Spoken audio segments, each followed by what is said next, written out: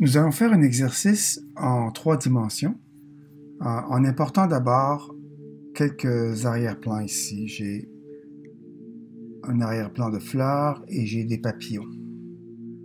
Donc je vais sélectionner tout ça et les amener dans mon timeline. Alors voici mon papillon. J'ai un papillon comme celui-ci. Euh, et j'ai un papillon sur fond blanc. Donc, j'ai aussi mes fleurs et les fleurs en avant-plan. Je vais placer les fleurs en avant-plan par-dessus au cas où je voudrais faire voler le papillon euh, entre les fleurs. Ici, je vais utiliser ces arrière-plans ici. Je vais sélectionner les deux ici en faisant Shift Select. On peut sélectionner plusieurs couches en même temps. Euh, et ici, je vais faire commande option F pour reformater à la grandeur de mon HD. Maintenant, je vais placer mon papillon. Si c'est le papillon blanc que je veux animer, je vais devoir extraire le blanc d'abord.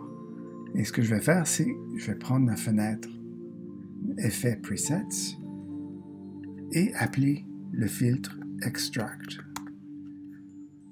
en plaçant Extract sur mon papillon. Vous voyez ici, je suis sur l'arrière-plan. Ici, je suis sur le papillon. C'est la différence. Sur le papillon. Et je vais prendre le blanc ici et l'éliminer. Ça fait un très beau nettoyage ici. Augmenter ce qu'on appelle le white softness ou faire un, un mat ou un masque plus doux.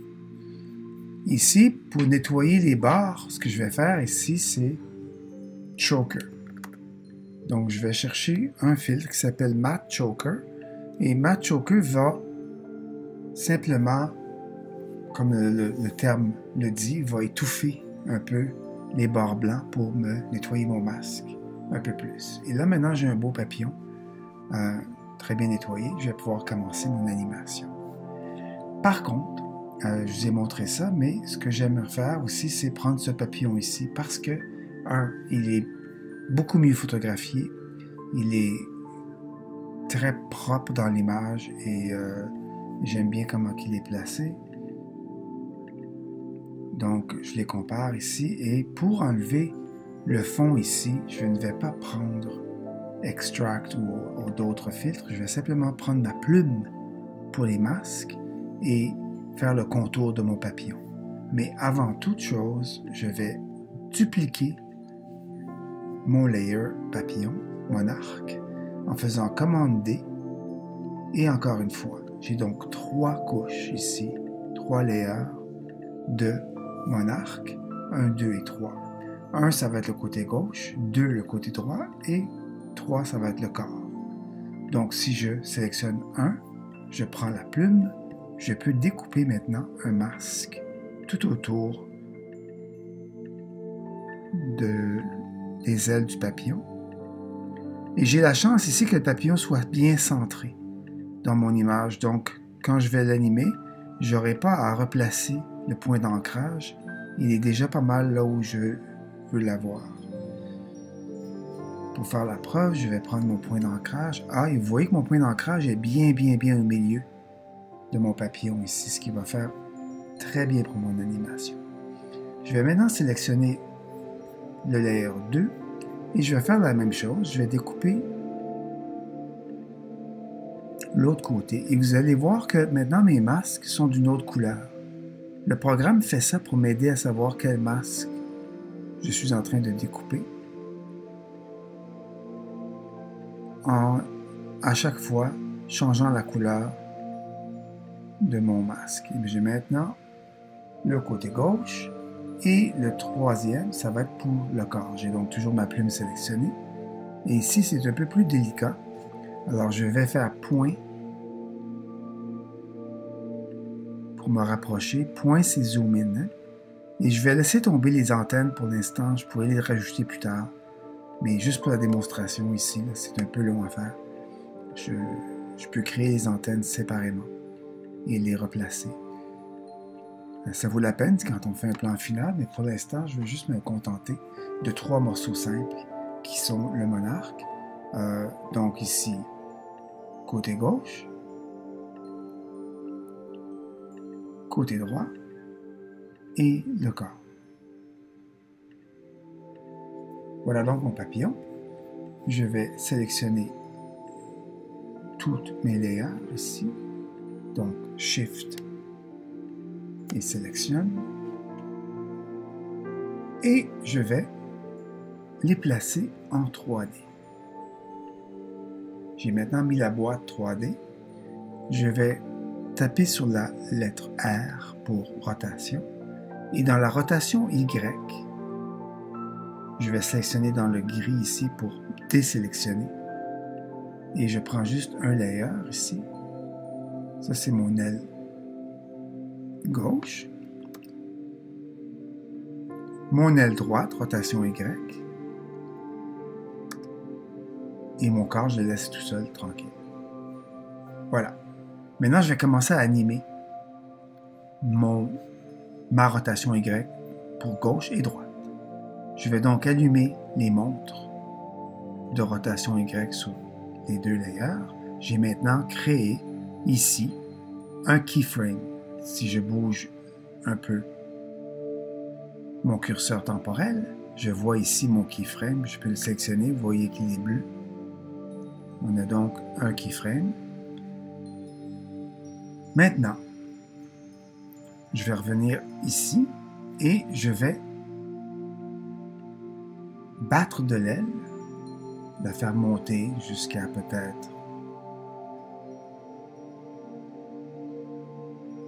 89 degrés ou 90 degrés, c'est une importance. Et j'ai maintenant un deuxième keyframe. Je vais faire la même chose avec l'autre ici et l'élever vers l'autre à 90 degrés. Ils sont maintenant en train de se toucher. J'avance encore mon curseur temporel. Et maintenant, je vais simplement prendre le keyframe de l'aile en bas et je vais le copier, commande C, et le coller, commande V. J'ai maintenant créé un mouvement d'aile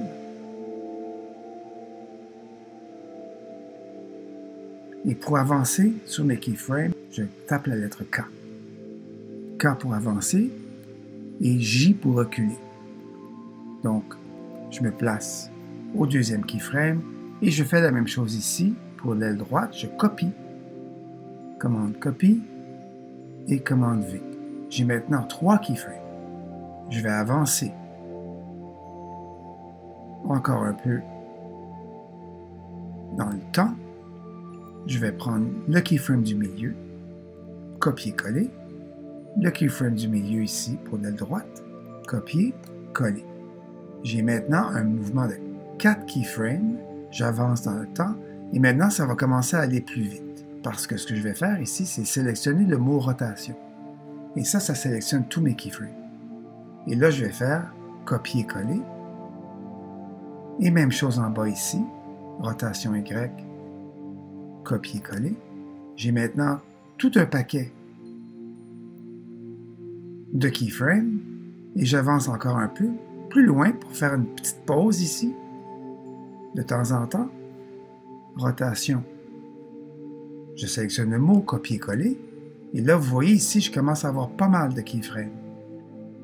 Copier-coller et j'avance dans le temps. Et encore une petite pause ici, petit délai. Parce que de, temps en temps, le papillon se repose.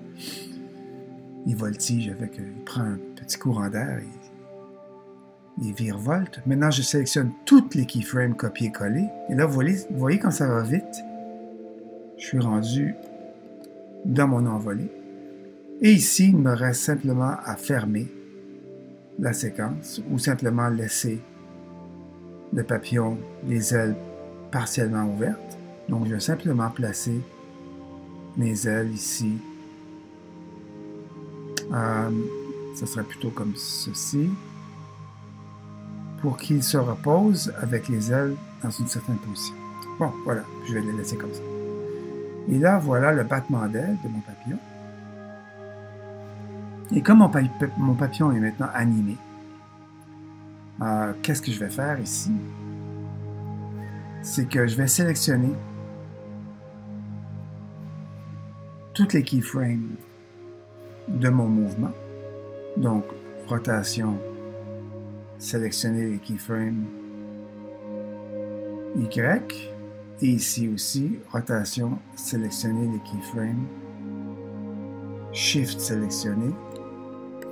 Donc, j'ai toutes mes keyframes sélectionnés. Et là, je vais faire un contrôle-clic sur les, un keyframe, ce qui va ouvrir le keyframe assistant pour me permettre de faire un, une accélération-décélération qu'on appelle Easy Ease.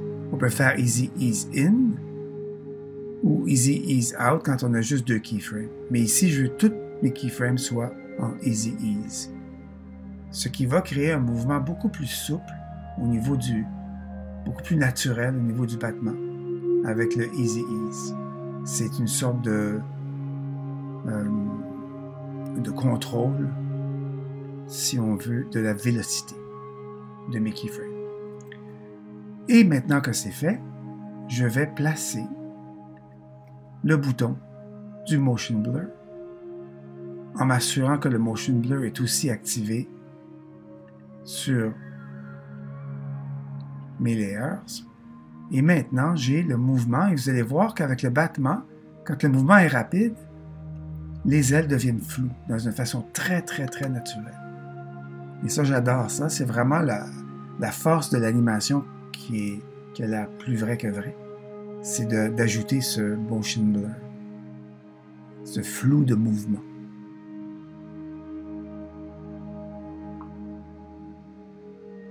Bien sûr, là, je suis en 3D. Et ce que je vais faire, comme vous voyez, le mouvement est très naturel ici. Ce que je vais faire, c'est que je vais sélectionner mes trois layers. Je vais les fermer pour m'assurer qu'ils sont bien sélectionnés. Les trois sont sélectionnés.